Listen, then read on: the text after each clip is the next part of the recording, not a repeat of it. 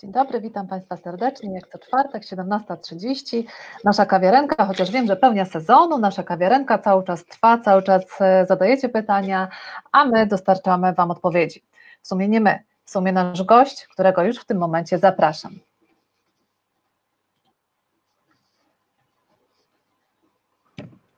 Dzień dobry, dzień dobry, panie profesorze. Jak tam zdrówko dzisiaj? Dobrze. Dzisiaj o, w plenerze. No właśnie widzę, tak ładnie w naturze, dlatego właśnie mówię, że jest pełnia sezonu i zawsze to widzimy i czujemy. I widzę, że Pan również jest właśnie w plenerze, bardzo ładne widoki, bardzo mi się to podoba.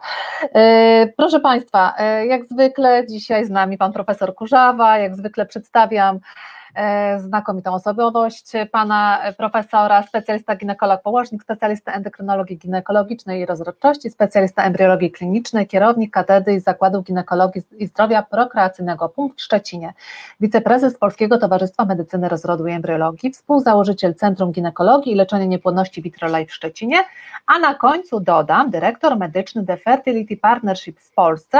Dodałam to na końcu, dlatego żeby od razu nawiązać, panie profesorze, jakby pan był uprzejmy od razu e, powiedzieć, co to takiego jest ten FTP? To jest grupa klinik, która jest połączona jednymi standardami leczenia, jednym powiedzmy sobie standardem e, organizacyjnym, e, no i na jakimś poziomie również właścicielskim, które funkcjonują w Wielkiej Brytanii, w Polsce, Danii, w Niemczech i w Austrii i w Holandii nawet. Także jesteśmy tacy wielcy już w chwili obecnej. Mhm. Proszę Państwa, odsyłam, bo to jest bardzo ważna rzecz. Proszę sobie zerknąć na vitrolife.pl. Nie tylko to jest bardzo ważne w, w klinice VitroLife, ale również kompleksowość, również nowoczesność, skuteczność. O tym wszystkim możecie sobie e, poczytać na stronie vitrolife.pl. Zapraszam Was tam serdecznie. Też na dole na paseczku jest, proszę Państwa, o dofinansowaniu w Szczecinie. Również jest dofinansowanie w Kołobrzegu. Serdecznie zapraszamy, jeszcze są miejsca. O tym wszystkim można przeczytać właśnie e, na stronie VitroLife lub zadzwonić do kliniki i zostaniecie powiadomieni, co należy zrobić, żeby o takie dofinansowanie się tam ubiegać. Szanowni Państwo, a w związku z tym, że mamy dużo pytań, to ja już zmykam, bo tu nie ja jestem ważna, tylko nasz gość i oddaję głos panu profesorowi. Mamy sporo pytań do przerobienia. Ja się aż zastanawiam, od których wziąć, czy, czy od góry, czy od dołu, bo jest tego bardzo dużo. Czy te zacząć króciaki, czy te, czy te długie, ale może dobra, bierzemy się od, od góry, panie profesorze. Pierwsze pytanie, takie jest króciutkie. Czy przy wyniku badania ANA 180 mam wykonać dodatkowe badania? Jeśli tak, to jakie? Jedno poronienie. Ja chyba mówiłem o tym poprzednim razem. To jest wynik, który jest granicznie nieprawidłowy i ANA 1 to jest badanie screeningowe problemów y, autoimmunologicznych. Y, poszerza się to badanie o y, ANA 2, 3, a w ogóle kontekst jest klinicznie istotny, więc w przypadku dodatniego takiego wyniku ja bym nawet zalecił może kontrolę reumatologiczną. Mhm. Panie profesorze, drugie pytanie jest bardzo długie, więc szanowni Państwo, wybaczcie, nie będę czytać całe, całego tego pytania, przeczytam tylko sam początek, żeby wiedział właściciel może, pytania. Może ja skrócę, bo ja to przeczytałem w tej chwili. O, I mamy super. tak, pani ma 43, AMH jest 0,4, yy, czyli względnie yy, wysokie w stosunku do wieku. Yy, pani miała y, stymulację jajeczkowania, która się zakończyła powstaniem torbieli. No i pytanie brzmi, co można zrobić, żeby pani zaszła w ciążę? I co zrobić, żeby rosły pęcherzyki jajnikowe i nie torbiele. Więc to jest sytuacja tego typu, że w ogóle y, w momencie, kiedy są tak zwane torbiele czynnościowe, to jeżeli zaczniemy stymulować jajeczkowanie, to one zaczną rosnąć. Nie będą rosły małe pęcherzyki jajnikowe, tylko te pęcherzyki, które są jeszcze reaktywne hormonalnie, one wtedy stworzą rzeczywiście torbiele i i e, te torbiele mogą być znaczących nawet rozmiarów. To jest, także jest jedna informacja. Zatem zasadniczo no, należy dążyć do tego, żeby nie rozpoczynać indukcji jajeczkowania czy stymulacji do in vitro w sytuacjach, kiedy pacjentki mogą mieć takie torbiele, które potencjalnie mogą odpowiedzieć na, na leczenie hormonalne. I teraz co się robi? No, są różne metody postępowania. W niektórych sytuacjach leczy się właśnie metodami hormonalnymi, antykoncepcją, w innych sytuacjach się operuje, w innych sytuacjach nawet powoduje się powodować ekologiczne pęknięcie w taki sam sposób w trakcie e, stymulacji jajeczkowania, no, podając jakieś leki, e, czy podając na przykład HCG. I no niestety one nie wszystkie te z tych metod są, są idealne, bo bo tak, przy tej blokadzie hormonalnej to, to wcale nie wiemy, czy, czy te torbiele wcześniej się, nazwijmy to roboczo, wchłaniają, czy nie, niż czy po prostu w zwykłym oczekiwaniu na to, aż one przestaną istnieć. Leczenie operacyjne, wiadomo, ma swoje duże problemy, no bo może uszkadzać jajnik, wiąże się z ryzykiem kooperacyjnym, anestezjologicznym, innym, może w ogóle przesuwać w perspektywie czasowej rozpoczęcie kolejnego cyklu leczenia, a te leki, które mają spowodować pęknięcie pęcherzyków, tych, tych większych torbieli, z założeniem, że to są jakby większe pęcherzyki, też nie, nie zawsze działają, a niekiedy nawet wręcz przyspieszają jeszcze dodatkowo wzrost takich torbieli.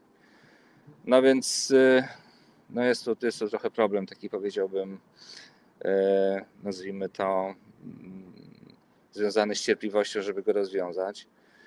No i tu nic nie podpowiem więcej, co zrobić. Trzy metody są omówione. Natomiast co do zasadniczego rokowania w tej sytuacji, no to też trzeba jasno wiedzieć, że ono jest naprawdę bardzo niewielkie, bo, bo w wieku 43 lat to prawdopodobieństwo urodzenia dziecka jest naprawdę bardzo niskie. Statystycznie to zdecydowanie poniżej 5%. Też trzeba o tym pamiętać. W związku z tym, a to właśnie te problemy jakby składają się na to również obniżone prawdopodobieństwo ciąż. Czy są jakieś inne badania, które należy zrobić w tym konkretnym przypadku? Zasadniczo nie ma takich badań. Nie ma jakichś badań, które są dopasowane do, nazwijmy to, grupy wiekowej czy tej sytuacji pacjentki. Po prostu te, co standardowo się wykonuje w przypadku diagnostyki leczenia niepłodności. Pytanie numer 3 i już wyświetlam takie króciutkie. Jakie badanie warto zrobić przed podejściem do in vitro z komórką dawczyni? Czy mąż ma robić jakieś specjalne badania? Karytypy mój i męża zrobiony. Tu obowiązują takie same badania jak przygotowanie, jak przed przygotowaniem do każdej procedury. E, nie ma jakichś szczególnych wymogów. Czyli to są te, które są określone ustawą o leczeniu niepłodności. No chociażby, nie mówię wszystkich, o wszystkich w tej chwili, ale te, które dotyczą e, no, badań w kierunku infekcji. E, no i te, które są wynikiem dobrej praktyki lekarskiej, ponieważ mamy do czynienia z komórkami jej, jajowymi oddawczyni, to takim badaniem, przykładem takiego badania, które jest wynikiem dobrej praktyki lekarskiej, czy powiedzmy sobie zaleceń, to może być e, upewnienie się, czy anatomicznie jest Pani przygotowana do, do transferu zarodka, to znaczy, czy jest prawidłowa jama macicy, upewnienie się, czy ja nie mam mięśniaków, nie ma polipów i tak dalej. I to tak naprawdę są badania również w pewnym sensie e, standardowe, więc inaczej. Tu nie ma jakichś szczególnych, dodatkowych ponadprzeciętnych badań, które się wykonuje w odróżnieniu od, od y, procedury zapłodnienia pozaustrowego. Czy osoby z mutacją genetyczną wskazującą na trombofilię podczas przyjmowania leków hormonalnych do stymulacji e, w procedurze IV stosuje się profilaktycznie heparynę lub inne leki przeciwzakrzepowe? To nie ma znowu jednoznacznych wskazań, ale y, uważam, że takie leki powinny być dawane, dlatego że podczas stymulacji osiągane są wysokie stężenia estrogenów. E, one działają prozakrzepowo i, i taka terapia heparynami ma znaczenie profilaktyczne w przeciwdziałaniu chorobie zakrzepowo-zatorowej. Mhm. Następne pytanie, nie zmieściło się całe. Witam serdecznie. Rok temu przedwczesny poród w 22 tygodniu ciąży, ciąża bliźniacza, dzieci niestety zmarły. Przyczyną była ponoć szyjka i jej y, cieśniowa niewydolność. Chcemy się jeszcze starać o dziecko. Co zrobić, żeby uniknąć powtórki historii? No to jest pytanie, na które no nie, naprawdę nie ma jednoznacznej odpowiedzi. Ja tylko chcę, żeby pani y, była dobrej myśli, ponieważ niewydolność cieśniowo-szyjkowa w ciąży wielopłodowej występuje częściej i ciąża między innymi z tego powodu. My twardo się trzymamy zasady mówiącej o tym, żeby przynosić jeden zarodek i tłumaczymy pacjentom, no, po in vitro jeden zarodek, i tłumaczymy pacjentom, że ciąża wielopłodowa to, to naprawdę nie jest sukces. Tu jest potrzebna zmiana myślenia lekarzy i pacjentów. W bardzo dużym stopniu myślenie lekarzy w tym zakresie jest zmienione i lekarze rozumieją, że należy w przypadku zapłodnienia pozaustrojowego wykonywać transfer pojedynczego zarodka. Mhm. Więc w ciąży bliźniaczej to niestety jest, jest, oczywiście, jest oczywiście większe w przypadku ciąży pojedynczej, ona powinna być mniejsza. Ale oczywiście obowiązuje e, ocena anatomiczna czy nie ma predyspozycji do tej niewydolności ciśniowo-szyjkowej. USG, ocena szyjki, zweryfikowanie, czy nie było zabiegów szyjce, które predysponują znowu do tego typu problemu, no na przykład konizacja. Panie profesorze, kolejne pytanie tutaj było od pacjentki. Tam e, bardzo dużo jest e, wyników badań podanych. To, to, może inaczej. To nie ma co tego mhm. cytować. E, jeśli chodzi o krzywą cukrową, to, to wynik jest, jest prawidłowy. Krzywą insulinową to jest temat dyskusyjny, przy jakich wartościach stężeń insuliny. To naprawdę tak jest, że, że wartości referencyjne dla, dla insuliny są dyskutowane. Dla jednych byłyby prawidłowe, dla innych mogły wskazywać nieco podwyższone stężenia insuliny stężenie, te, czy, te, przepraszam, TSH jest, jest, jest prawidłowe. Ale mhm. oczywiście te wyniki trzeba interpretować w kontekście tylko i wyłącznie obrazu klinicznego. Na przykład, czy pani ma otyłość. E, najprostsza rzecz, czy jest otyłość, czy są zaburzenia miesiączkowania i, i tak dalej. Dobra. Takie poboczne pytanie nam tu wpadło, jaka jest szansa na dziecko przy słabym nasieniu partnera? Jak, jakoś, e, jak podnieść jakość w ogóle nasienia? Nie ma, nie ma, nie ma, nie ma takiej wartości, przy której można było powiedzieć, że mężczyzna jest bezwzględnie niepłodny. Ja to też mówiłem, że wszyscy patrzmy na wynik badania jak na prawdopodobieństwo. To znaczy, im gorsze są parametry, tym mniejsze jest prawdopodobieństwo ciąży, im lepsze są parametry, tym większe prawdopodobieństwo ciąży. I oczywiście norma jest, norma e, według WHO, według standardu WHO i, i tego się trzymamy. A jak podnieść mm, i poprawić jakość, no to jest temat na osobną książkę i temat do dyskusji wielogodzinnej i akademickiej. W pierwszej kolejności styl życia, e, czyli naprawdę styl życia, regularność spożycia, walka z otyłością, niepalenie papierosów, e, zmniejszenie ilości spożywanego alkoholu, humor, sprawdzenie, czy funkcja tarczycy jest prawidłowa, ale to naprawdę lista jest dosyć długa. W niektórych sytuacjach suplementacja, ale nie przeceniałbym tej, tej metody, czyli mówię o witaminach. E, I inna, inna informacja ważna, skrajnie złe parametry nasienia wymagają konsultacji andrologicznej.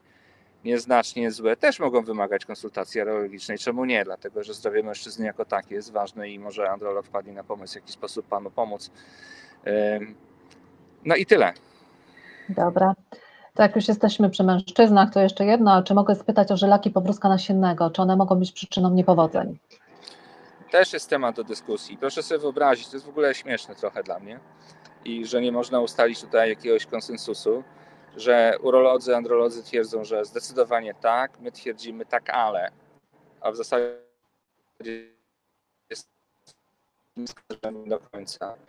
W tej chwili e, takie bardzo rozsądne stanowisko amerykańskiego Towarzystwa Medycyny Narodowej jest takie, że jeżeli e, w przypadku stwierdzenia, e, jeżeli, przepraszam, jeżeli się stwierdza nieprawidłowości nasienia, to jeżeli temu towarzyszą żylaki powrózka nasiennego, no to trzeba się zastanowić, czy one właśnie nie są czy one nie są przyczyną tych, tych obniżonych parametrów nasienia. Czyli to już jest takie bardziej pójście w kierunku tych, tych, tych, tych rekomendacji urologiczno-andrologicznych.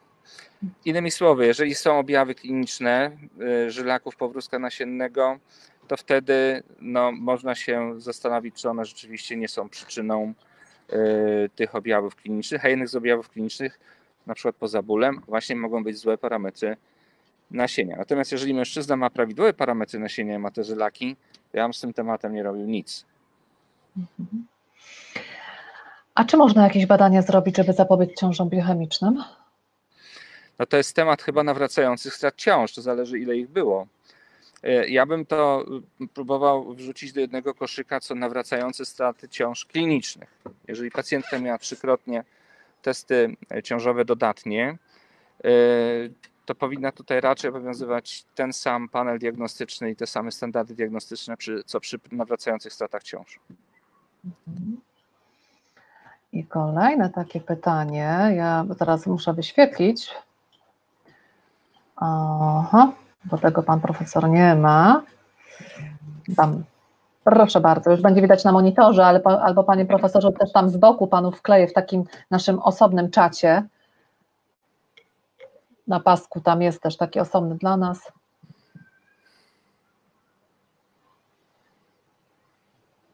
No. Jak obniżyć, jak obniżyć stężenie prolaktyny zbyt wysokie? Znaczy to stężenie, które Pani pokazuje na tym, e, czy to zostało mi teraz pokazane, jest prawidłowe. Ja zupełnie z tym nic nie robił.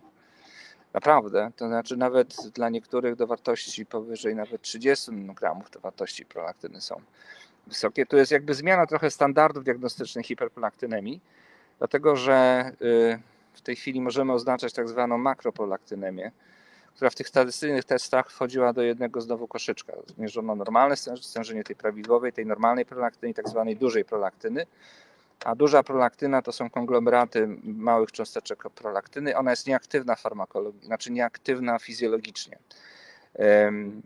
A w oznaczeniach dotychczasowych się sumowała, więc fałszywie dodatnie wyniki były. Nie powodowało to tak naprawdę żadnych problemów z punktu widzenia konsekwencji e, zwiększonej ilości krążącej prolaktyny, bo jedna była nieaktywna, a druga aktywna. E, więc jeśli chodzi o prolaktynę, w tej chwili to się trzeba zastanowić, czy nie towarzyszy jej tak zwana makroprolaktynemia. To jest, to jest jedna rzecz. A ten wynik też w ogóle dla mnie jest prawidłowy.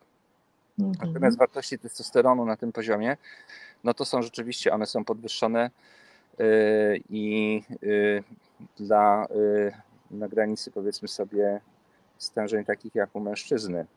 To znowu pytanie, jakie są objawy kliniczne? Czy jeżeli to są tylko zespoły zwykłego braku jajeczkowania, czyli cykle nieregularne, USG. No może to są spełnione kryteria zespołu policystycznych jajników i jeśli tak, no to postępuje się tak jak w zespole policystycznych jajników, to jest, to jest y, próba przy zaburzeniach jajeczkowania, indukcji jajeczkowania, bo, bo znowu, czy sam podwyższone samo stężenie testosteronu cokolwiek powoduje? No, no może powodować po pierwsze problemy związane z, z owulacją, to jest jeden temat, to, to te podejmują próby indukcji jajeczkowania. Może powodować, też do tego można powiedzmy sobie tak podejść, w niektórych sytuacjach większą predyspozycję do, do strat ciąż. I yy, chociaż tu są dane, powiedzmy sobie, trochę wątpliwe na ten temat. No i trzeci temat to jest oczywiście konsekwencje hiperandrogenizacji, czyli problemy, nazwijmy to natury, nazwijmy to bardziej dla pań estetycznej. Tak?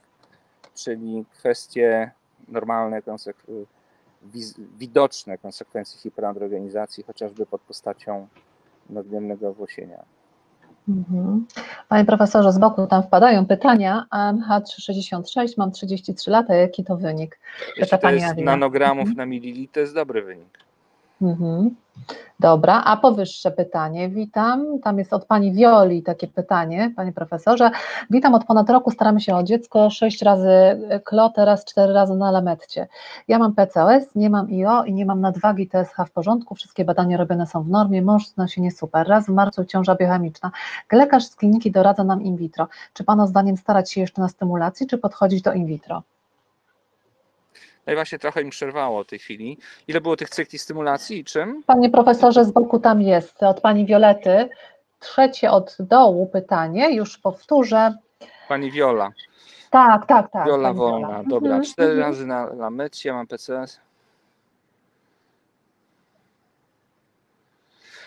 E, no więc znowu, jeżeli jest to zespół policystycznych jajników i występują cykle bezowulacyjne, no to standardy są takie. Próbujemy indukować jajeczkowanie na pierwszym etapie poprzez zmianę stylu życia, odchudzenie, spowodowanie tego, że pacjentka spożywała dietę niskowęglowodanową, czyli dieta i zmniejszenie masy ciała.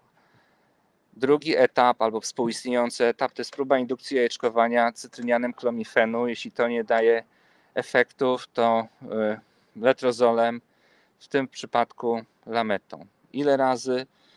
Do pół roku, czyli do sześciu cykli. Jeśli to nie daje efektu, to próba indukcji jajeczkowania gonadotropinami, yy, czyli na przykład FSH. I teraz, kiedy skracać drogę, kiedy nie iść tą drogą, nie przedłużać tego leczenia, to po pierwsze tak, no musimy mieć przede wszystkim pełen obraz sytuacji, czy pani w ogóle ma szansę na zajście w ciążę, to znaczy, czy jest świadomość tego, czy są drożne wody, czy nie, czy są prawidłowe parametry nasienia.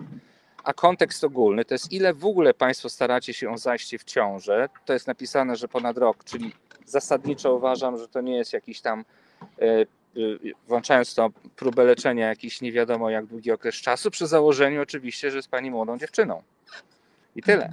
Czyli gdyby to dotyczyło pacjentki, która ma lat, nie wiem, na przykład 38, to bym powiedział nie, rzeczywiście zapłodnienie pozaustrojowe. Jeżeli to dotyczy kobiety, która ma lat na przykład 27, ma zakładam prawidłową rezerwę jajnikową, bo inaczej raczej nie jest, bo jest zespół policystycznych jajników, to można, jeżeli taka jest Państwa wola, spróbować przedłużyć jeszcze dalej leczenie takie zachowawcze.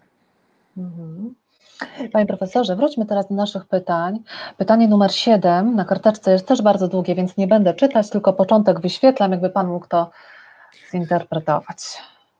Tu chodzi o to, że pani się pyta, czy Lubion 25 to jest to samo, czy Prolutex. Jak to się ma do y, Prolutexu, utrogestanu, jak to się ma do cyklogestu i tyle. No i co ja mam powiedzieć? No Lubion to jest to samo, co w Polsce Prolutex, Lubion jest z Wielkiej Brytanii, y, co w Polsce Prolutex, to raz. Y, I są badania, które mówią, że w suplementacji fazy lutealnej podawanie dziennych dawek y, właśnie tych 25 mg jest wystarczające do zapewnienia prawidłowej implantacyjności endometrium, co by się równało podawaniu dopochwowemu, dopochwowemu cyklogestu dwa razy dziennie na przykład, czy dopochwowemu podawaniu utrogestu trzy razy dziennie. I, I tak, i to jest, i teraz, żeby tu się znowu, powiedzmy sobie, jasno wyrazić. Y, naprawdę nie ma przekonywujących badań w zakresie skuteczności klinicznej, która z tych metod jest lepsza, która jest gorsza. I są próby wyselekcjonowania takich metod podawania czy suplementacji progestagennej w, w stymulacji, y, po stymulacji jajeczkowania do zapłodnienia pozaustrojowego, która była, byłaby najlepsza. I tutaj znowu są takie badania, które mówią, że najbardziej efektywna jest suplementacja po in vitro domięśniowym progesteronem, uwaga, czyli nie podskórnym, domięśniowym, zaraz potem dopochwowym, dopochwowym, a na końcu doustnym. Y, jak spozycjonować podawanie y, progesteronu podskórnego? I tu nie chcę być krzywdzący dla, dla tych leków, bo, bo te badania mają wątpliwą, nazwijmy to, jakość w taki sposób, że można się było jasno, jasno, jasno wypowiedzieć. My generalnie składamy tutaj, stawiamy plus minus znak równości między tymi, między tymi preparatami. Y, I tak to, tak to wygląda. I może z tego powodu większość klinik skłania się do tego, by, by łączyć te terapie. Czyli różnymi drogami, pewność, że on rzeczywiście działa. Y, są lęki mówiące o tym, że jak się daje tylko do pochwowo, to nie ma odpowiedniego działania ogólnoustrojowego. Przy terapii tylko do pochwowy, jakbyśmy zmierzyli stężenie progesteronu, to ono będzie stosunkowo niskie. No wiadomo, jest podawany progesteron do pochwowo, y, a y, stężenie systemowe jest nieco niższe. No ale jest, ponieważ do pochwowo, no to lokalnie osiąga swoje stężenia absolutnie tak i swoje działanie ale ponieważ my znowu wierzymy w to, że to działanie ogólne ma znaczenie, dlatego często dodajemy preparaty o działaniu y, takim systemowym, czyli dopochwowo dodajemy coś do ustnie albo dodatkowo podskórnie i tak dalej. W każdym razie, żeby była jasność, wszystkie te leki były przetestowane w taki sposób, że wykazano ich równoważność w zakresie skuteczności. I to niech to będzie puentą. Mhm. No to dobra, no to lecimy dalej. Testy Kolejne pytanko, ósme, tam chodzi o testy. Już sobie testy ERA, Emma, Alice, czy warto wykonać te testy, jeżeli prędzej nie doszło do implantacji zarodka przy czwartych, e, czterech transferach pięciodniowej baptystysty i czy dołożyć do tego scratching endometrium, czy odpuścić już scratching? Jak to jest, panie profesorze? Znowu bardzo trudne pytanie, bo ja broń Boże nie chciałbym tych testów w najmniejszym stopniu dyskredytować, bo co do założenia to są piękne testy bo one badają y, fazowość endometrium, czyli wskazują na, czy dzień przeniesienia zarodka jest prawidłowy, czy jest prawidłowa, nazwijmy to, struktura czy proporcje między bakteriami i czy występują bakterie patogenne w endometrium. Czyli co do założenia, to rzeczywiście są to testy, które, które które powinny być wartościowe, ale, ale niestety jest dwugłos w temacie ich skuteczności i znaczenia prognostycznego w zakresie ciąży. To Państwo musicie wiedzieć. Jedna firma je produkuje i, i nie ma do tej pory jeszcze ciągle takich jednoznacznie przekonywujących, że one, że one dają coś czy wnoszą coś w diagnostyce i leczenie płodności. Mhm. A co do scratchingu, no to, to, to, to samo, też, też nadal jesteśmy w, w takim miejscu, w którym no, nikt nie powiedział, że to źle, że, że, że, że, że go się wykonuje, ale znowu nie ma przekonujących dowodów, że on e, pomaga tak.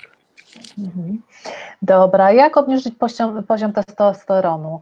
Czy to mogło wpłynąć na poronienie samoistne? Brak miesiączki od 9 tygodni po poronieniu samoistnym, podwyższony testosteron. Kiedy zacząć się niepokoić? Wizyta u lekarzy dopiero 30 e, sierpnia. Nie mieszkam w PL. Przede wszystkim podstawowe pytanie, czy na pewno podwyższone stężenie testosteronu jest przyczyną straty ciąży? Bo w tych przyczynach które, tych czynnikach, które są odpowiedzialne za straty ciąż, znaczy jest ich bardzo wiele, więc można ulec takiej pokusie, że jeżeli stwierdzono jedną nieprawidłowość, to bardzo chcielibyśmy mieć winnego, na, na niego zwalamy. Określa, że przyczyna straty ciąży leży w tym konkretnym, w tym konkretnym, w tej konkretnej nieprawidłowości. Czyli może tak, y, wydawać się może, że skrajnie, skrajne zespoły hiperandrogenizacji one rzeczywiście predysponują do strat ciąż. Ciekawe, bo w rekomendacjach takich, które odnoszą się do y, diagnostyki i leczenia przypadków z nawracającymi stratami ciąż, to nie jest to tak wprost napisane. To znowu, akurat pani znowu trafiła w temat, powiedzmy sobie, dyskusyjny, ale najważniejsza rzecz w tym w temacie jest taka, żeby nie pominąć innych przyczyn, które mogły doprowadzić do, do, do straty ciąży. Że to jest strata ciąży pojedyncza i to jest po prostu pierwsza ciąża, to też proszę powiedzieć, proszę pamiętać, że najbardziej prawdopodobną przyczyną straty takiej pojedynczej ciąży to jest tak zwane poronienie sporadyczne, które jest konsekwencją nieprawidłowości genetycznych y, w zarodku, najczęściej, które powstały y, w zarodku w wyniku zapłodnienia nieprawidłowych y, nieprawidłowymi albo nieprawidłowych komórek jajowych e, w kontekście właśnie genetycznym, ale muta, które, których przyczyną były mutacje czy jakieś aberracje chromosomowe, które powstały de novo, czyli rodzice nie są nosicielami, a w wyniku przygotowania tych gamet dochodzi do problemów genetycznych i w związku z tym powstają też nieprawidłowe genetycznie zarodki. Więc takie, takie, takie sporadyczne poranienia, wbrew pozorom, E, jeżeli to jest pierwsza strata ciąży, to jest najbardziej prawdopodobna przyczyna straty ciąży. Ale oczywiście nie można wykluczyć tych, które będą potem e, predysponować do tego, że pani w sposób nawracający będzie e, te ciąże tracić. Mhm. Pytanie też z bocznej tutaj karteczki. Pani Justyna pisze, czy plemniki pobrane z biopsji są takie same jakościowo jak te uzyskane z nasienia? To według niektórych nawet są lepsze, o. żeby było ciekawiej. E, I to znowu zależy od kontekstu. Jeżeli to są skrajnie złe parametry nasienia i skrajnie złe, e, skrajnie złe, mm, skrajnie złe parametry po biopsji, i tam są pojedyncze plemiki, gdzie jest dużo tkanki jądrowej i tak dalej, jakby ten preparat, nazwijmy to, jest troszeczkę biologicznie zanieczyszczony, e, no to jest, jest problem, że takie plemniki użyć. To to jest jedna rzecz. Natomiast y, są y, takie prace, które mówią, że z punktu widzenia częstości występowania chociażby problemów, no, nawet z zaburzeniami fragmentacji DNA plemników, to, to, to ten, ten problem występuje w znacznie mniejszym stopniu e, po biopsji. Więc in, in, innymi słowy, jeżeli łatwo jest y, przygotować te plemniki do procedury po biopsji, to jakość takiego bioptatu jest, jest dobra. Mhm. I też z bocznej tutaj listy weźmiemy sobie od pani Magdaleny. Panie profesorze, mam 24 lata, AMH 1,4 e, i vitro nieudane, stymulacja menoporem 300 i orgalutranem. Pięć pęcherzyków, z czego wszystkie puste. Jakie mogła być przyczyna? To nawet chyba jest na tym, tym, tym głównym panelu, widzę. Tak, tak, e, tak. To teraz tak, pani zrobiła sondaż wśród lekarzy leczących niepłodność, czy zespół pustego pęcherzyka jajnikowego, to by się nagle okazało, że połowa twierdzi, że jest, że a druga połowa, że nie ma. I, i, i tutaj trzeba mieć na względzie coś takiego, że y, co w wyniku stymulacji zapłodnienia pozaustrojowego powoduje y, ostateczne dojrzewanie pęcherzyka jajnikowego i, i komórki jajowej. Y, w tych cyklach stymulowanych to są leki, które podajemy. Proszę pamiętać o tym, że może tak, albo lek został źle podany, albo zły timing podania, albo e, aktywność tego leku była e, nieprawidłowa. Seria się zdarzyła z mniejszą aktywnością, lek nie zadziałał. Naprawdę proszę mi wierzyć, że paradoksalnie ten temat jest dosyć częsty. Mhm. I takie krótkie pytanie już wyświetlam z naszej listy, panie profesorze. Dziesiątka, brak owulacji przez rok, wcześniej nie wiem czy była, pierwszy cykl stymulowany sklo.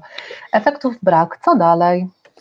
No jak pani ma cykle regularne owulacyjne, to ma pani 90% na to, przepraszam, regularne miesiączkowe, to ma pani 90% szans na to, że są normalne, regularne cykle owulacyjne. To już mhm. jest odpowiedź na pytanie, czy pani wcześniej miała cykle owulacyjne, czy nie a regularne cykle miesiączkowe co miesiączki co 25-35 dni. Teraz, y, jeżeli jeden cykl był stymulowany cytrynianem klamifenu, klostelbegetem to jest to samo, klamifenem, tak, to jest to samo, to teraz co to znaczy, że brak efektów? Znaczy, czy nie było owulacji, czy nie, nie rósł pęcherzyk jajnikowy, nie było owulacji, czy pani zaszła w ciążę. Zwiększa się dawkę najczęściej w takiej sytuacji, jeżeli nie było jajeczkowania do dwóch tabletek, czyli dwa razy dziennie przyjmuje się, e, przepraszam, przyjmuje się 100 mg cytrynianu klomifenu. E, formalnie to można zwiększać do 250, czego nie polecam. Uważam, że powyżej 100 to już jest raczej bez sensu. Jeżeli to nie zadziała, to przechodzi się na leki, można przejść na leki z grupy inhibitorów aromatazy. Jeśli to nie działa, to na gonadotropiny. Mhm. E, panie profesorze, też takie krótkie e, Wysiądę pytanie. się, to szybciutko, ale proszę kontynuować. Dobra, dobra. Pan się przesiada, a ja mówię dalej. Jak szacują się szanse z komórką zaadoptowaną przy niskim AMH i wieku powyżej 40 lat? Co może zwiększyć szanse przy adopcji komórki? Znaczy, przypadku dawstwa ocytów, czyli wykorzystywaniu komórek jajowych od dawczyni, to prawdopodobieństwo ciąży jest uzależnione od, od wieku, ja nazwijmy to jakości biologicznej dawczyni e, i od e, receptywności e, biorczyni, czyli ta pani, która jest biorczynią, no to trzeba być pewnym, właściwie trzeba dokonać staranności, by ocenić, czy nie ma przeszkód Y, które mogą zaburzać implantację zarodka. No i tutaj dobra ultrasonografia, ocena jamy macicy, mięśniaki, polipy, mm, wzrosty wewnątrzmaciczne, y, struktura endometrium w badaniu ultrasonograficznym. Natomiast dlatego taka skuteczność jest wysoka programów y, z komórkami jajowymi oddawczyni, bo właśnie tutaj w dużej mierze, w przeważającej części o skuteczności procedury decyduje decyduje właśnie dawczyni, czyli komórka jajowa. Mhm. E, panie profesorze, ja teraz tutaj wkleję panu z boku, bo to jest takie bardzo długie pytanie, które wpadło. Nie ukrywam, że od e, mojej koleżanki tam z grupy Obudź sobie życie, jakby pan był uprzejmy się zapoznać z tym pytaniem, na tym naszym osobnym czacie, a ja już chcę panią Alinę i panią Magdalenę uspokoić, że jak którąś panią e, wyrzuciło z czatu, to spokojnie, film będzie zawieszony na naszym YouTubie, więc będziecie mogły panie sobie odtworzyć e, bez najmniejszego problemu. Również na naszym Facebooku znowu będzie film do odtworzenia i będzie jeszcze raz publikowany ten film. Także uspokajam, jeżeli któraś z pań coś tam straciła w trakcie, to, to spokojnie, film będzie, także uspokajam. A to pytanie y, jeszcze raz, on jest tam w czacie, tak? Tak, w czacie tutaj z boku, na takim prywatnym czacie, na, na naszym prywatnym, panie profesorze, prywatna nasza lista. Jest publiczny, Aha. jest ten nasz prywatny. I to Dobra. jest takie bardzo, e, bardzo długie pytanie, więc jakby pan był uprzejmy się zapoznać.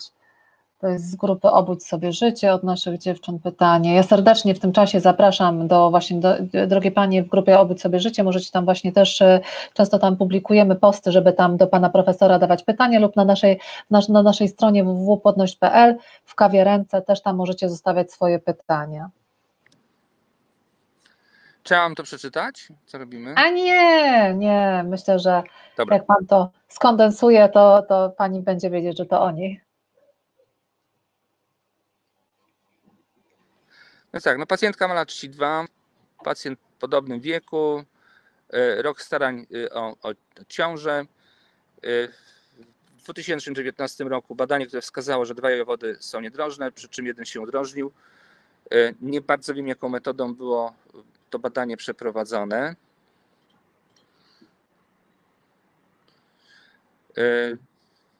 Endometriozie. Nie było mowy o endometriozie. Mhm.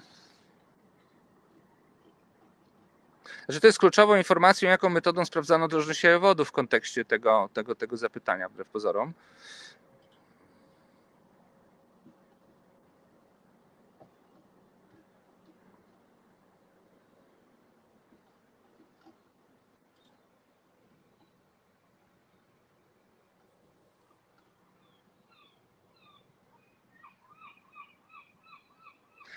Dwie próby zapłodnienia pozaustrojowego. Pierwsza stymulacja dosyć y, y, mało efektywna w kontekście liczby pobranych komórek jajowych, w drugim lepiej, ale z drugiej strony y, tylko dwa zapłodnienia.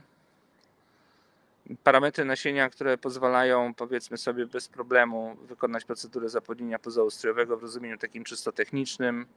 Badania kariotypów prawidłowe, badania immunologiczne, nie ma się do czego przyczepić. Nie wiem, jaki panel znowu. Ja zresztą Państwo wiecie, co ja myślę na temat badań immunologicznych, bo mamy problem, mówię, ze standaryzacją tych badań. E, potem również, jeśli chodzi o badania w kierunku e, trombofilii i MTHFR są mm, wyszły mutacje PAI i MTH, MTH, MTHFR. Przed drugim podejściem znowu zrobione HSG wycięto trzy małe polipy. No tro, powiem tak, inaczej. Tam y, troszeczkę tutaj jest to pytanie chaotyczne, ale tak, y, systematyzując. Po pierwsze, jeżeli w badaniu y, oceniającym drożność jajowodów y, jeden z jajowodów w trakcie badania się udrażnia, to to nie jest nic nadzwyczajnego, to się może tak zdarzyć. Y, no bo przyczyną tej tak zwanej niedrożności chociażby może być skurcz mięśniówki, skurcz mięśniówki y, tej, która jest na styku jajowodu i macicy, tak zwanej cieśni, albo w odcinku e, śródściennym jajowodu. To jest, to, jest, to jest jedna rzecz. No jeśli chodzi o występujące polipy, no to polipy, proszę Państwa, według niektórych są problemem wtedy, kiedy one mają średnicę powyżej 1 cm. Jeśli jest ich kilka, to oczywiście no, to niedobrze. Y, ale znowu w jaki sposób oceniane? Czy to jest oceniane tylko ultrasonograficznie, czy to jest stosowane, czy to jest oceniane na, na y, drodze hysteroskopii? Y, ponieważ one się mogą złuszczać w czasie miesiączki, to też nie należy wykluczyć takiej możliwości, że jeżeli, że jeżeli y, podczas badania hysteroskopowego jednego polibu został usunięty, czy badania ultrasonograficznego polib był, to w kolejnym badaniu ultrasonograficznym nie musi być obecny, a podczas hysteroskopii, jeśli został usunięty, to znowu jest tendencja do nawracania polipów i, i w kolejnym badaniu one, mogą się, one się mogą y, znowu niestety pojawić, więc z polipami jest niestety ten problem, że, że mają problem, że mają, mają tendencję do nawracania. Teraz, y, jeżeli pani pisze, że w jednym badaniu była endometrioza, w drugiej nie było, no to jedynym badaniem, które ocenia to, czy jest endometrioza, czy nie jest, to albo w przypadku występowania terbieli endometrialnych USG, ale to jest powiedzmy sobie możliwość z wysokim prawdopodobieństwem określenia tego, czy endometrioza występuje, czy nie, pod postacią potwierdzenia, y, y, potwierdzając na przykład występowanie tak zwanych torbieli, które wyglądają jak endometrialne, ale tak naprawdę to endometriozę możemy tylko potwierdzić w badaniu laparoskopowym, E, no i tutaj e, rzeczywiście, jeżeli raz jest, raz i nie ma, to jest sprawa zagadkowa, bo najczęściej jak się ją stwierdzi, to ona jest. Chyba, że są to rzeczywiście pojedyncze, zupełnie pojedyncze ogniska endometriozy, to, to jeżeli on stwierdzono jedno, dwa ogniska endometriozy, no to, to taka sytuacja może, może się zdarzyć. Pojedyncze wszczepy endometrialne, wyobrażam sobie, że one mogą, mogą zniknąć. No i teraz nie jestem w stanie dobrze skomentować tych stymulacji jajeczkowania, no bo tu są, tu są niuanse, tak? Y, są, są różne, różne, różne aspekty tego, y, różne rzeczy podczas stymulacji jajeczkowania mogą się zdarzyć. Mnóstwo rzeczy na to wpływa. To jest kwestia y, postępowania, absolutnie nie mam zastrzeżeń zwiększono dawkę z 250 do 250, co zresztą poskutkowało zwiększeniem liczby pobrałych pobranych oocytów. Proporcje między dojrzałymi a niedojrzałymi no też absolutnie prawidłowe. No dwa się, dwa się zapłodniły. No w przypadku takim to ja naprawdę u mnie w klinice są też sytuacje takie, że rozkładam ręce i się martwię, dlaczego u jednej pacjentki mamy taką sytuację. To się zdarza, że przy zapłodnieniu sześciu oocytów mamy, mamy na przykład jedno zapłodnienie czy dwa zapłodnienia. Za, za, za zbyt daleko, żeby z tego wyciągać jakieś, jakieś wnioski. Yy, po prostu powtórzyć procedurę i zobaczyć, co będzie następnym razem. Natomiast jeżeli są mutacje PAIM THFR, no to postępujemy tak, jak mówiliśmy już wielokrotnie wcześniej. Tu może być potrzebna profilaktyka przeciwzakrzepowa, suplementacja większymi dawkami folianu e, i metylokobalaminy. Tak to widzę. Tak, w każdym razie e, niech pani się nie załamuje i, i, i walczy dalej te dwie procedury zapłodnienia pozaustrojowego, które się nie udały, nie zamykają drzwi w żaden sposób przed panią. Jak pan profesor już tam patrzy, to jeszcze jedno wrzuciłam. Endometrioza, wiek 34 lata, AMH 1,18, przygotowuje się do drugiej procedury z in vitro, zmrożonych zarodków. Obecnie będę przyjmować immunosupresję 21 dni, a następnie podejście do transferu. Czy zalecałby Pan podanie właśnie jednego czy dwóch zarodków? Boję się podać dwa zarodki, bo jeżeli nie wyjdzie, to będę musiała podejść od nowa do procedury, a po leczeniu immunosupresji moje komórki będą jeszcze gorszej jakości niż są. Proszę o poradę. Znaczy ja nie będę komentował tego znowu wątku immunosupresji, bo proszę mi wierzyć jeszcze raz, że, że yy, to jest zbyt szerokie sformułowanie dla mnie w tej chwili, żebym mógł wiązać to leczenie immunosupresyjne z, z wpływem na jakość zarodków. To, to, to, tego, tego inaczej. Ja się, ja się zdystansuję do, do, do tego leczenia immunosupresyjnego, może w ten sposób. E, natomiast e, jeden zarodek, oczywiście, że jeden, dlatego że prawdopodobieństwo wystąpienia ciąży bliźniaczej jest Y, oczywiście wyższe przy przeniesieniu dwóch zarodków. Prawdopodobieństwo wystąpienia w ogóle ciąży jest wyższe przy przeniesieniu dwóch zarodków, czyli dodatniego testu ciąży. Ale prawdopodobieństwo urodzenia zdrowego dziecka jest wyższe przy przeniesieniu jednego zarodka, bo wszystkie powikłania perinatologiczne, różnego rodzaju problemy czy problemy wczesnej ciąży, one występują znacznie częściej w przypadku ciąży wielopłodowej. I, i, i w tej chwili, jeżeli nie jest to jakaś sytuacja zupełnie beznadziejna, że mamy do czynienia z, z dwoma skrajnie złymi, w sensie morfologicznym, zarodkami u pacjentki z, z bardzo niską receptywnością, yy, czy szansą na ciążę, na przykład w bardzo takim, nazwijmy to, zaawansowanym wieku rozrodczym, to, to, to, to zdecydowanie powinien być przeniesiony jeden zarodek. Mhm.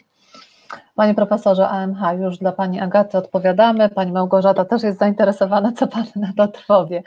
Czy jeżeli AMH w przeciągu półtorej roku spada z 4,7 do 1,87, to jest się czym martwić?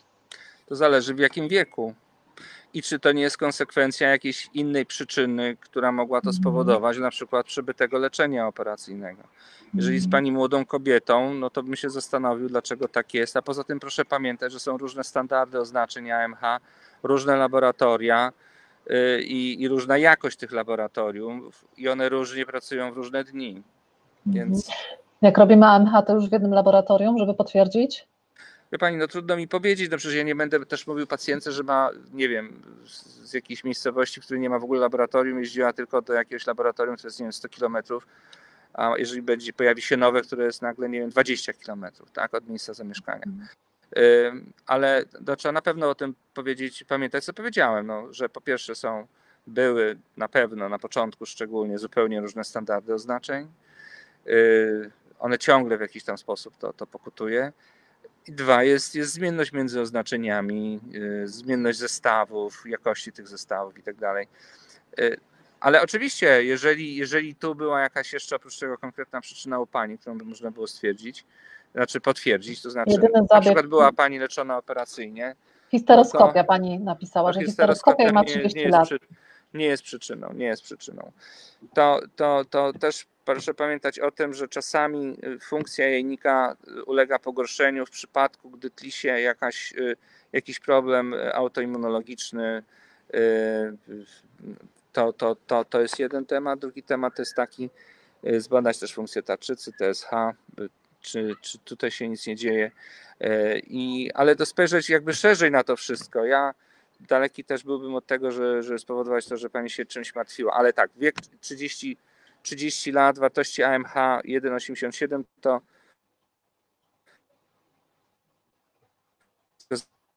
dla kobiety w tym wieku. Mhm. E, z listy tam właśnie z boku, jeszcze od pani Małgorzaty M jest takie właśnie pytanie, które też wyświetliłam. Jaki wpływ mają na nas wielokrotne stymulacje? Podczas dwóch lat przeszłam 7 stymulacji. Pięć zapłodnień vitro, czy przyjmowanie takich dawek hormonów jest dla nas szkodliwe i na ile, w jakim zakresie, na co powinniśmy uważać? Myślę, że to ważne dla nas wszystkich.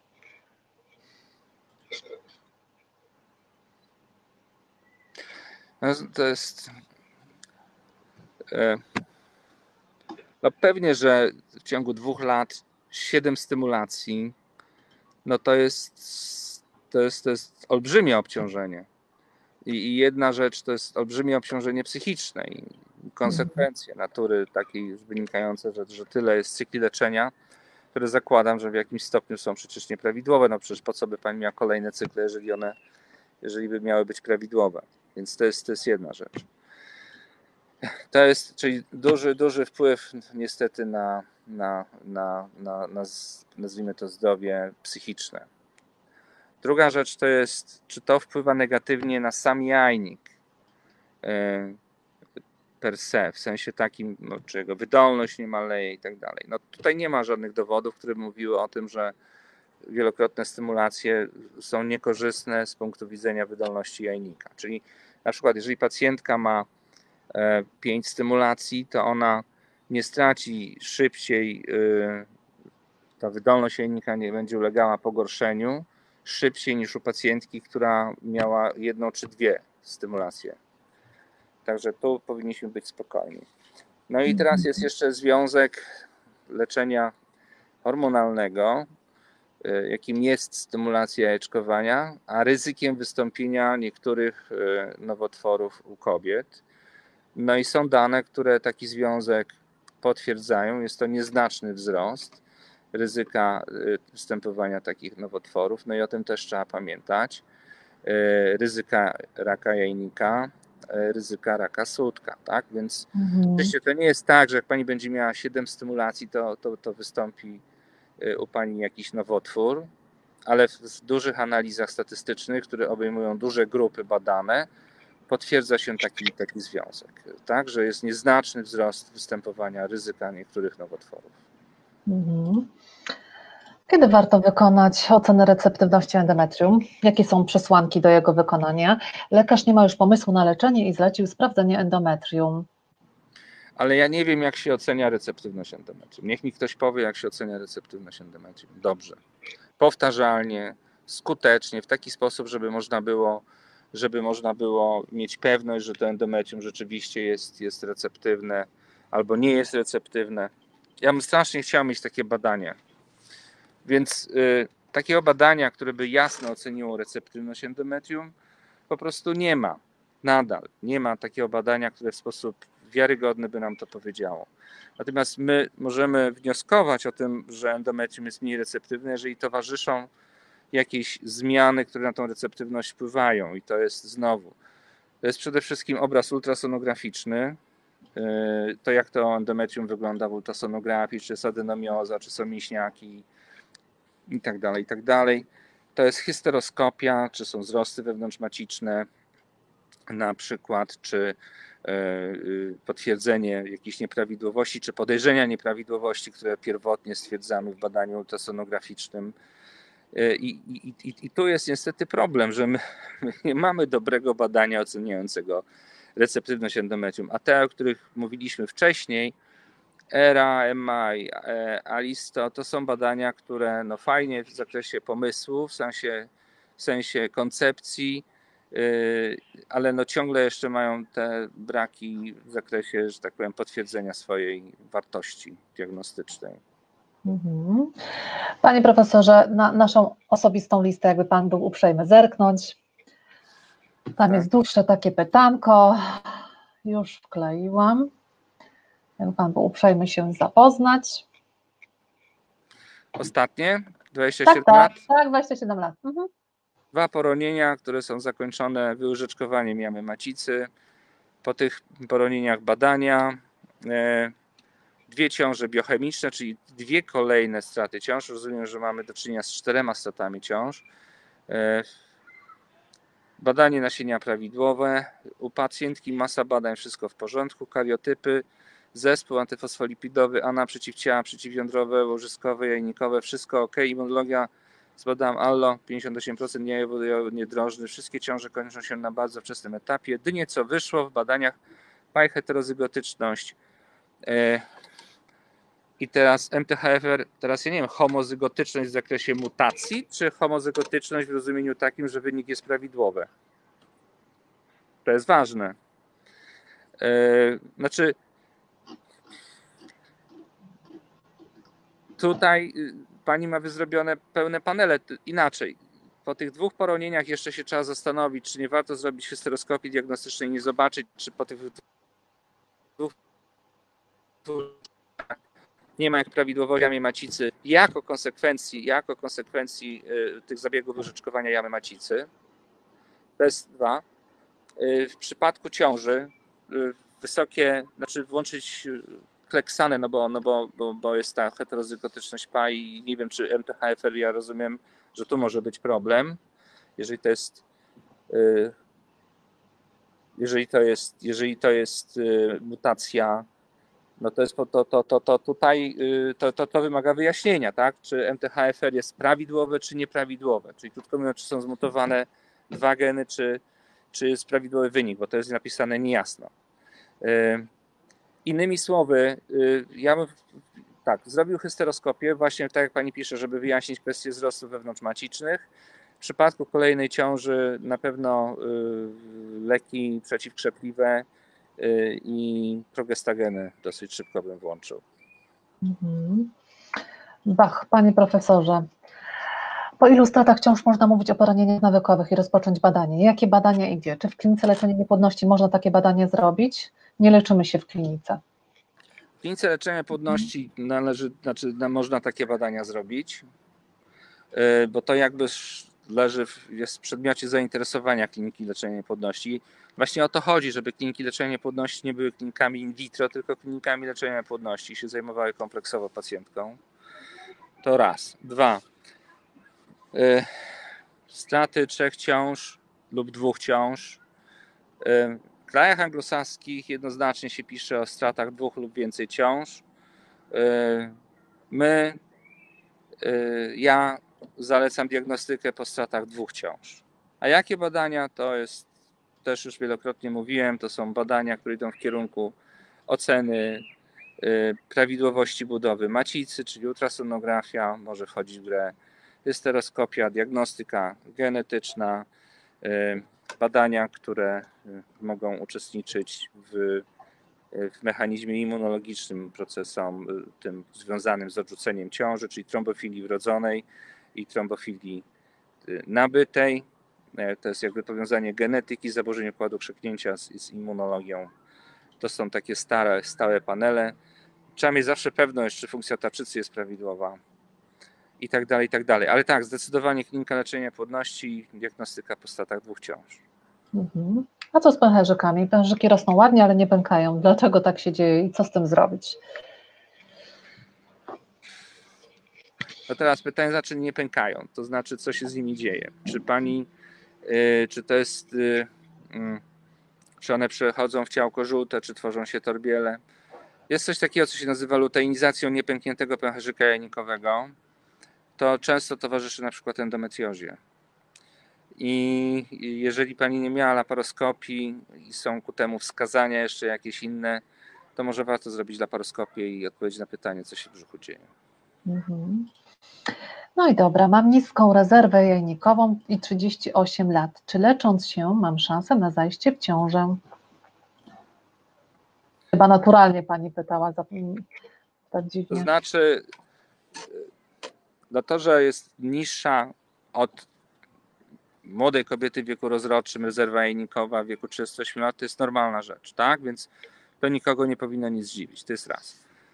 E, no tak, ma Pani szansę na zajście w ciążę, e, lecząc się i nie lecząc, bo prawdopodobieństwo ciąży w wieku 38 lat jest adekwatne w pierwszej kolejności do Pani wieku, bo, bo wiek jest jakby głównym czynnikiem rokowniczym i w cyklu naturalnym, dopóki są cykle owulacyjne, nawet niskie wartości AMH, one w jakiś istotny sposób y, nie wpływają na płodność bo dopóki są owulacje, bo AMH jest takim markerem w pierwszej kolejności nie tyle jakości oocytów, ale w pierwszej kolejności ilościowym, to znaczy, czy może być prawidłowa odpowiedź na stymulację jeczkowania do procesu w, proces, w ramach zapłodnienia pozaustrojowego. Czyli innymi słowy, jaką duże i jaką pulę pęcherzyków jajnikowych uda się zrekrutować w ramach stymulacji do zapłodnienia pozaustrojowego. Pośrednio mówi nam o tym, ile tych pęcherzyków jajnikowych jest. Tak? Skoro jest ich mniej, to krótszy potencjalny okres na, na zajście w ciążę. No, tak no, do tego należy podejść. Natomiast w wieku 38 lat, jeżeli pan chce zajść w ciążę, to bym zalecił szybką właśnie wizytę w, w takim ośrodku, e, który zajmuje się diagnostyką i leczeniem niepłodności, ponieważ e, czas ma tutaj istotne znaczenie. Naprawdę czas ma istotne znaczenie i przy takim poziomie ogólności pytania bym chciał zakończyć, bo wszystko zależy, co tam się u Pani dzieje, jak długo Pani się stara zajść w ciążę i założę się, że, że, że zostaną podjęte badania, które, które wyjaśnią, czy dadzą Pani jakiś kierunek, którym należy iść. Tu pani Agatka jeszcze e, napisała, e, wspomniał pan profesor o operacjach, które mogą mieć wpływ na problemy z płodnością. Czy mowa tu o operacjach wyłącznie ginekologicznych, czy operacje na przykład na kręgosłup też mają znaczenie? Narkozy, prześwietlenie, farmakologia. Nigdy tego ze sobą nie wiązałam. Jak to jest? Ja bym tego tak wprost nie, nie wiązał. To operacje brzuszne mają w pierwszej kolejności wpływ na płodność.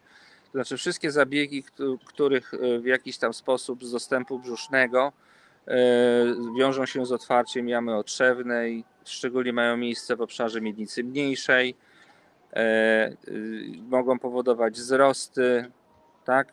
to, to ewentualnie operacje, które wprost są wykonywane na jajnikach i mogą wpływać na zmniejszenie rezerwy jajnikowej.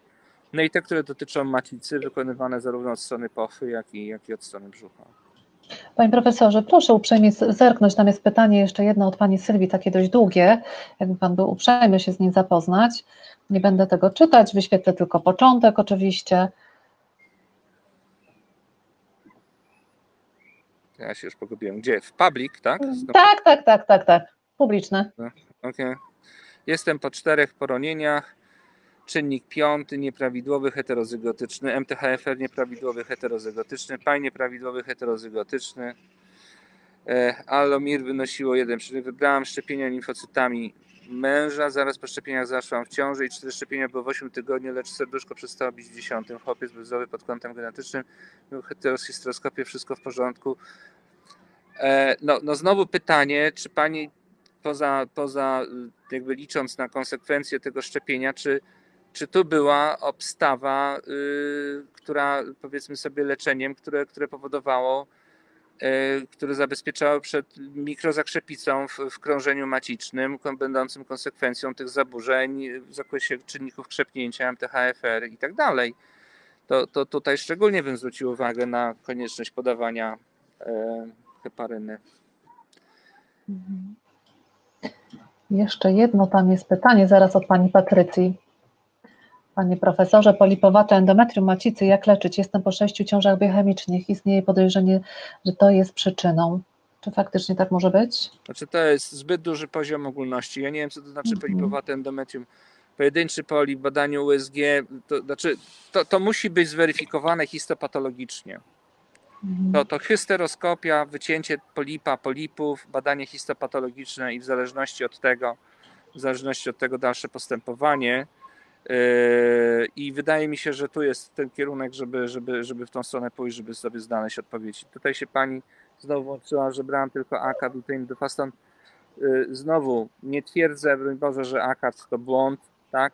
Yy, ale w takich, przy takim spektrum heterozygotyczności, w tylu czynnikach układów krzepnięcia, wydaje mi się, zdecydowanie wskazanie jest do, do, do hepary niskocząsteczkowych.